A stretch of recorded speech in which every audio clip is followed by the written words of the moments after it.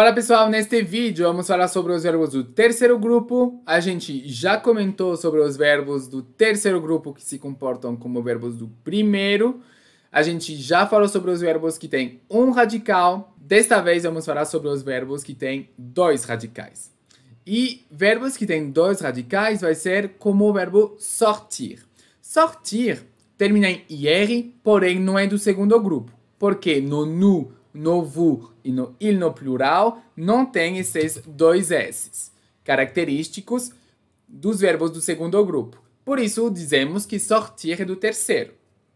Bem, o verbo sortir, que significa sair, ele vai se conjugar considerando sempre que a letra antes do IR vai estar presente apenas nas pessoas do plural. Então é como se a gente decidisse antes de conjugar o verbo, de separar em dois radicais diferentes. Para o singular, a gente vai tirar a letra anterior, vai ficar só S ou R. Esse T aparece só no plural. E daí a gente vai adicionar aquelas terminações que a gente viu na aula anterior, que vai ser adicionar o S, S, T, ou N, S, EZNT ou SSD ONS EZENT. No caso desses verbos, a gente vai utilizar o primeiro jeito, ok? Que vai ser então SST ONS EZENT. E vai ficar então je sors tu sors, il sort, nous sortons, vous sortez, ils sortent. Lembrando que aqui apareceu o T no plural, porque o verbo no infinitivo possui um T. Se a gente utilizar um verbo como dormir, a gente vai ter que manter esse M no plural e não colocar um T, ok? Então vamos ter je dors, tu dors, il dort, nous dormons, vous dormez, il dorme.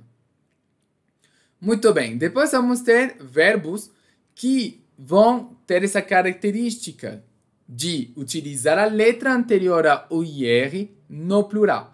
Vai ser o caso de sortir, como a gente já viu, que é o verbo sair. Partir significa partir. Sentir, sentir. Mentir, mentir. Olha que coincidência, né? Consentir, consentir. Dormir, dormir. Servir, servir. Gente, que maravilha, né? Muito parecido com português. Bom, então no caso, por exemplo, aqui de servir, o que vai aparecer no plural vai ser a letra V, ok? Por isso a gente vai ter je sers, tu sers, il sert. Nous servons, vous servez, il serve. Ok? Então, aqui, prestem bem atenção, a letra que vai anteceder as terminações no plural vai ser a letra que aparece no infinitivo. Ok? Muito bem. Temos também verbos que têm dois radicais, porém, aqui vai ter uma diferença a gente vai adicionar uma letra. E essa letra não vai estar no infinitivo. Então, por exemplo, aqui no caso do verbo ler, que a gente fala lir, a gente vai tirar esse R ou esse E, vamos manter tudo. Li, li, li, li, li. E aí a gente vai adicionar um S no plural. Então a gente vai falar je lis, tu lis, il lit, nous lisons, vous lisez, il lise. E você vai se perguntar de onde saiu esse S? Boa pergunta. E honestamente, o mais fácil é você fazer associações. Então, por exemplo, aqui, sabe que o verbo lir vai ter um S, ok? Você pode pensar, bom, todos os outros verbos que eu vou mencionar agora funcionam como lir, ok? Então, conduir, conduzir vai ser a mesma coisa. A gente vai adicionar um S, ok? Conduire, conduzir, instruire, instruire, produire, produzir, séduire, séduire, construire, construire, détruire, destruir, nuire, prejudicar. Então, em todos esses verbos, a gente vai adicionar um S. Se pegarmos o verbo uh, séduire, a gente vai tirar esse RE. Vamos manter, então, isto para todas as pessoas. Ok? E vou adicionar, então, as terminações que a gente já conhece, que são S, S, T, je séduis, tu séduis, il séduit. Pro nous, pro vous e pro il, vou ter que adicionar um S antes de colocar as terminações. Então vai ficar séduisons, séduisez, séduise. Obviamente aqui, né, as coisas estão separadas, mas vocês precisam juntar, ok? Je séduis, tu séduis, il séduit, nous séduisons, vous séduisez, ils séduisent.